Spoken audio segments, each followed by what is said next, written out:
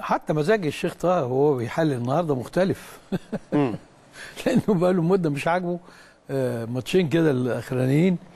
لكن آه، لا طبعا آه، المباراة بتش- بتشجع بتمتعك وفيها شغل فني كويس وفيها يعني كلام يتقال.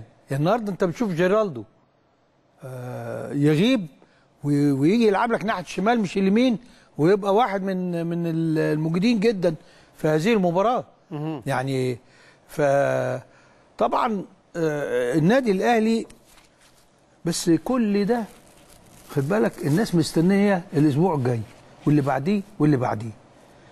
شهر فبراير ده لو عملت ال- التوقعات زي ما الناس عايزة لا هتبقى شغلانة تانية خالص.